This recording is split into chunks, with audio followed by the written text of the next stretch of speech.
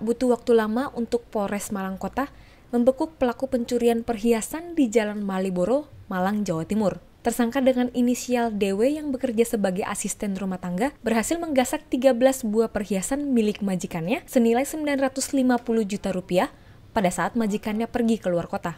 Kasat Reskrim Polres Malang Kota, AKP Komang Yogi mengatakan petugas hanya butuh waktu 5 jam setelah laporan diterima untuk pembongkaran kasus ini